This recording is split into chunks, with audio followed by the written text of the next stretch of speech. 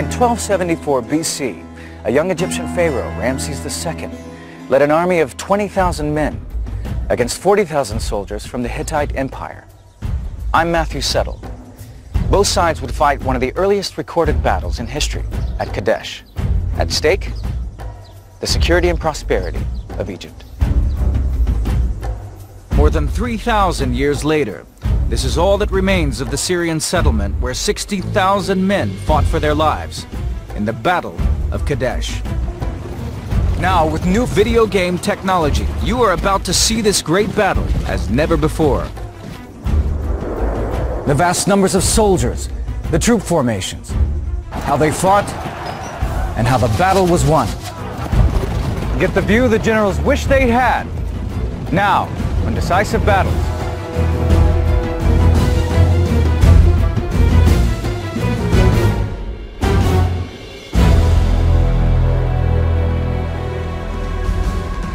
3,000 years ago, in 1274 BC, Syria was the crossroads of the ancient world, where the trade routes from the west met those from the east. Timber, gold, and spices from the east were traded for copper and tin from the west. Syria has been a battleground throughout most of its history. It's where three continents meet. It can't defend itself. It can't produce a big state of its own. But it's therefore always a target for the superpowers. To the south of them was the Egyptian superpower. To the north, the new superpower on the scene, the Hittites. The city of Kadesh was on the borderland, where the Egyptian and the Hittite empires met. Both Ramesses and the Hittites want to take Kadesh. Kadesh is important because it actually controls trade routes over land. It allows access south if you're coming from the Hittites or north if you're coming from Egypt. For nearly 200 years, the Egyptians and the Hittites had fought for control of central Syria. The Hittites' power base was the Anatolian highlands of modern-day Turkey. Egypt was a desert kingdom, totally reliant on the fertile strip along the River Nile, which was maintained by annual floods. Egypt was run by a sun king, a pharaoh who was a god upon earth. It was the first centralized state in history. On the whole, it was rather isolationist. It thought it knew best. Foreigners were inferior, but foreigners had to be kept in check. In 1482 BC, Pharaoh Tutmosis III had defeated the Hittites in the Great Battle of Megiddo. But most confrontations were on a much smaller scale, and massive military encounters like this were rare. Then in 1279 BC, the 25-year-old Ramses II was crowned Pharaoh of Egypt. Ramesses II is an absolutely fascinating character and he left his mark up and down the Nile. He was a great one for carving his name into things, building monuments, leaving statues. We even have his body. So we feel that we know a lot about Ramesses. We know something of Ramses' physical appearance because his mummy has survived. He was tall for an ancient Egyptian, probably around 5'7", and he probably had red hair, the result of earlier intermarriage with Asian peoples. To be pharaoh was absolutely the best job there was. It meant that you were a demigod, you weren't just a person, you were the richest man in the world, you were the most powerful man in the world. Ramses had already had his share of military experience. As a very young crown prince, he had campaigned with his father, Seti, in Libya and Syria. Seti had captured the strategic city of Kadesh in Syria, but it had fallen back into the hands of the Hittites. Recapturing Kadesh would now show that he was a great commander, as great as his father, and would give him access to east and west trade routes. Ramesses was a young man for whom the horizon had no frontiers at all. He decided what dad couldn't do, I will do. He was going to be it and had all the ambition of youth. Ramesses II was a young man in a hurry. He wanted to be not merely a pharaoh, he wanted to be the greatest pharaoh there ever had been or ever would be. He wanted the gods to know that they had a super pharaoh on their hands. The Hittite king Muwatallis, he's not been on the throne that long himself. He gets enraged when Ramesses says that he's going to claim back Kadesh, which he regards as his own territory. the father of Muwatalli, and Ramses' father Seti, had fought one another. Now both sons would settle their unfinished business. Muwatalli called for troops from all parts of his empire and produced one of the largest armies ever fielded by the Hittites. 2,500 chariots and 40,000 infantry. What makes Kadesh, I think, very interesting in that we have two people who think that they can't be beaten coming up against each other. Ramses' strategy would have come as no surprise. His plans to capture Kadesh were openly discussed at the Egyptian court. If Ramesses II had had prime-time television, he would have gone on it and said, I intend to conquer Kadesh and kick the Hittites out of Syria. I have no doubt that uh, the news that came back from Egypt would also tell Muwatallis the character of the young king. This man's only 25, this man thinks he can do anything, this man is impetuous, this man's in a hurry, and Muwatallis might even be rubbing his hands saying, right, we know how to deal with this sort of sucker. Campaigning always took place during the spring and summer, so that there was a ready supply of food for an army on the march. The armies of this period were built around infantry and chariots. Charioteers were like modern-day fighter pilots, the top guns of their time. To be a chariot driver was a bit like being a test pilot or something like that. It was a job that people wanted. It had prestige, it could lead to great rewards, it attracted all the girls in the neighborhood. They also had to supply and maintain their own chariots and horses. The chariot was a formidable assault weapon, designed to smash into and break through enemy infantry. It was also a mobile firing platform and carried a driver and an archer. The two main weapons of the charioteer were the spear, designed for close-up work once the chariot was amongst the enemy, and the composite bow. We have an account of an Egyptian pharaoh using a composite bow, drawing the bow and firing the arrows through a target of solid copper.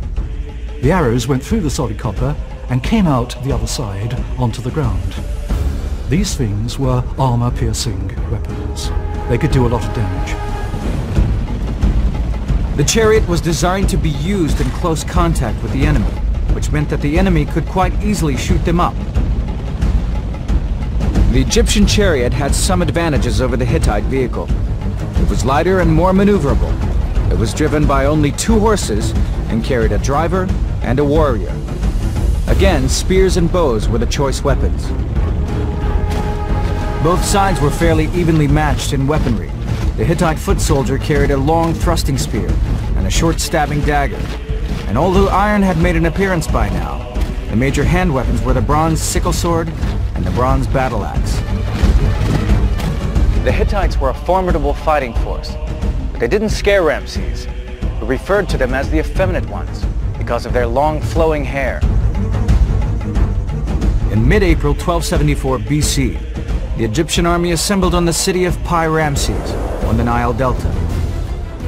It must have given the whole country a huge lift because this is exactly what pharaohs are supposed to do. They're supposed to assemble huge armies, reinforce Egypt's superiority and march off. From there, it was a month-long march to the battlefield on the plain of Kadesh. The outcome would make or break the young pharaoh and decide the future of Egypt.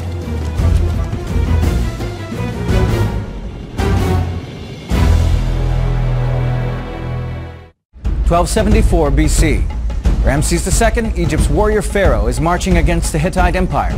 At stake, the riches of Syria and the security of Egypt. The Egyptian army was divided into four corps. Each had 4,000 infantry. Another 1,000 men crewed the 500 chariots attached to each corps. By the time of Ramesses, the Egyptian army was formed into four big divisions. They were named after some of the main gods of the kingdom.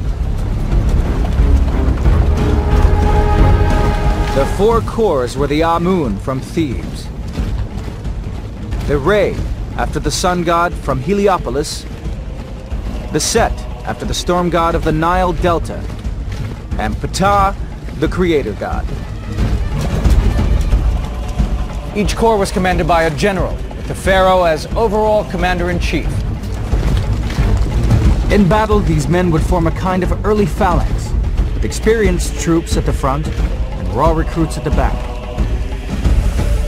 On the march, the corps did not group together as a single army. They traveled as independent units, often strung out over miles of desert. This system had evolved because the Pharaoh hardly ever fought large pitched battles. His short, localized wars were usually fought by one corps at a time. Also split up over a wide area, it was easier for the army to live off the land. For the entire regiments of Amun, and then Re, and then Ptah, and then Set, we need something like, I think, um, oh, a mile and a half or two miles range of force traveling up through Canaan and Galilee. The Egyptian army marched north, while an elite division drawn from all four corps moved along the coast.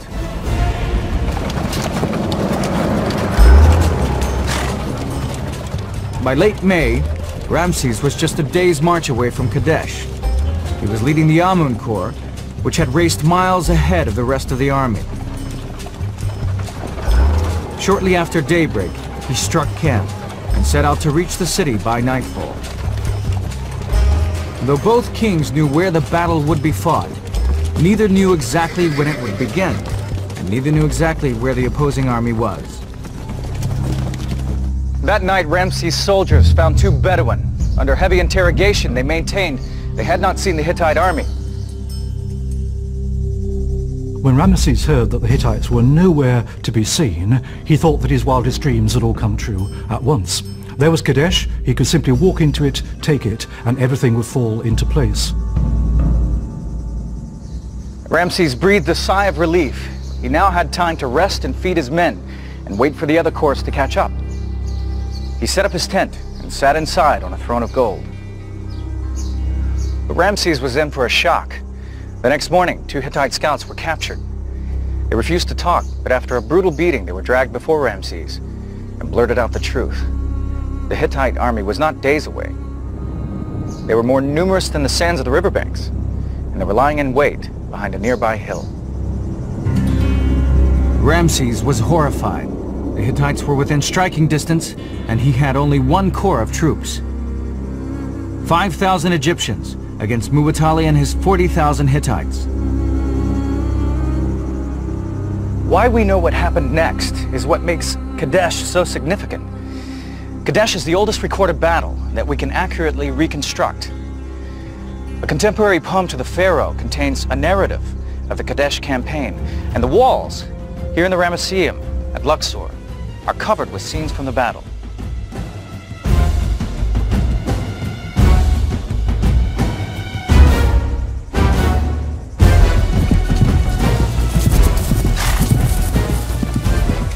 Ramses sent messengers to the other three corps, ordering them to make speed to the pharaoh at Kadesh.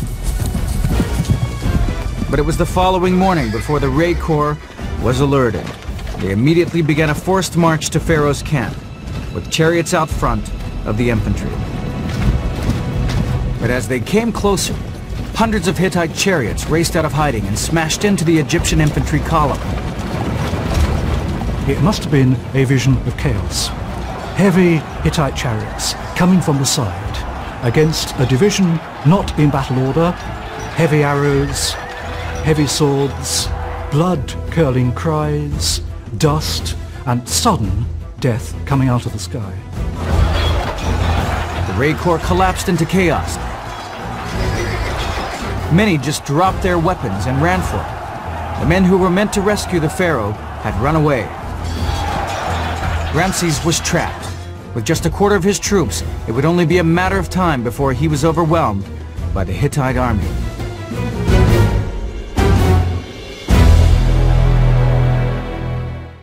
Twelve seventy-four BC, the Egyptian pharaoh Ramses II is battling the Hittite Empire for control of Syria.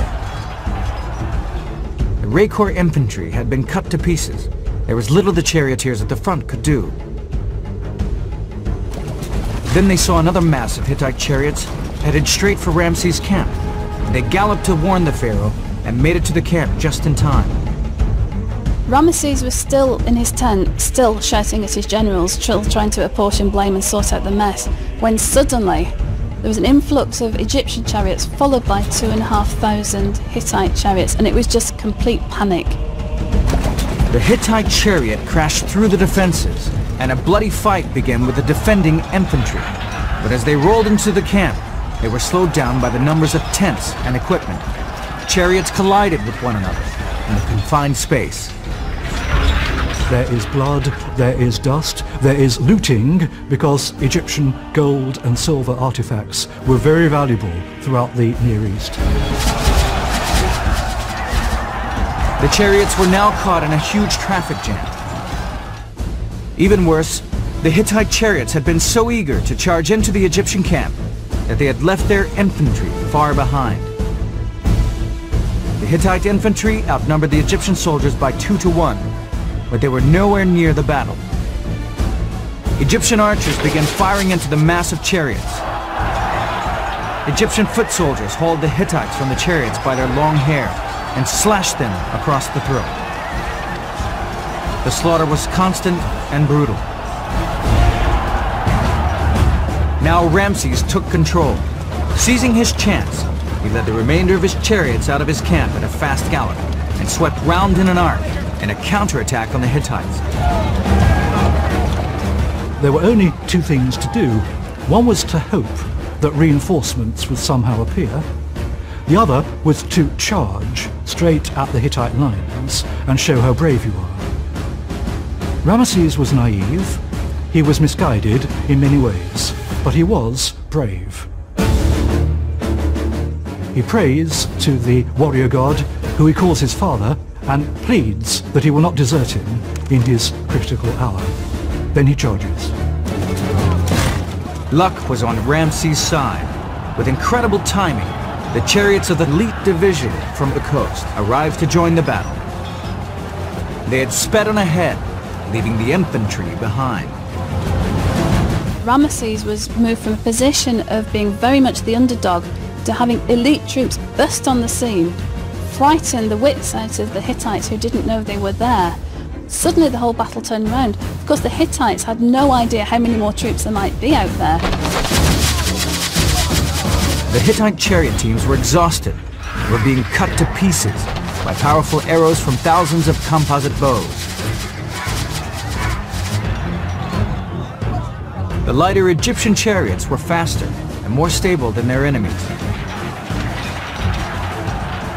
Keeping out of range of the Hittites' javelins, they fired volley after volley of arrows into the densely packed chariots. What the Egyptians can do is fire arrows at them, and they cannot maneuver and fight back. It is what is called a turkey shoot. Every time the Hittites tried to get a grip on the Egyptians, they were driven back by the hail of arrows. There was nothing left but to make a break for it. Their retreat turned into a headlong rush for safety. Broken chariots and screaming and dying horses littered the ground. The Egyptian foot soldiers following in the wake of the chariots finished off anyone they found alive. When an Egyptian soldier killed a Hittite, he would cut off the dead man's right hand. This was then taken to the pharaoh as proof of victory. After the battle, the pile of hands was counted to calculate the number of enemy dead. The Egyptian system of military organization had almost lost the battle. Thousands of soldiers had been strung out over miles of desert. The pharaoh had never been able to gather all his troops together and throw his full military might against the Hittites. But things had been worse for Muwatalli. He had brought 40,000 Hittite infantry to Kadesh. None of them fought in the battle. Both he and Ramses had fought a completely different battle than the one they had planned for. Ramses could not hope to hold territory in Syria with his small army. He fell back to Egypt and eventually signed a peace treaty with the Hittites. Later, he took two Hittite princesses as wives. This resulted in peace and prosperity throughout the area for the next 90 years. I think from the Kadesh battle inscriptions, we get a genuine sense that he stepped out of the mythology. He stopped being the demigod, and he actually became a man who was on a battlefield and who was frightened and yet managed to fight his way out of danger. If the Hittites had won, the entire area of what we call Palestine would have fallen under their rule. Large parts of the Bible are to do with Egypt. We might not have had any of that. We wouldn't even have the Bible in the form in which it's written for us. It might have been written in Hittite. Ramses himself ruled for another 70 years, giving Egypt a rare period of continuity. During his long life, he took 200 wives, had 96 sons and 60 daughters, and his luck held. Throughout his reign, the Nile regularly flooded, giving good harvests. But in 1274 BC, none of this had been certain. Ramses knew that the Battle of Kadesh had played a big part in making it possible. The young pharaoh had made his reputation and secured Egypt's borders, and he never wanted his people to forget it. He ordered the walls of his temple here at Luxor, the Ramesseum, to be inscribed with scenes from the battle. Today, more than 3,000 years later, people come from all over the world to read the story of Ramses and the Battle of Kadesh.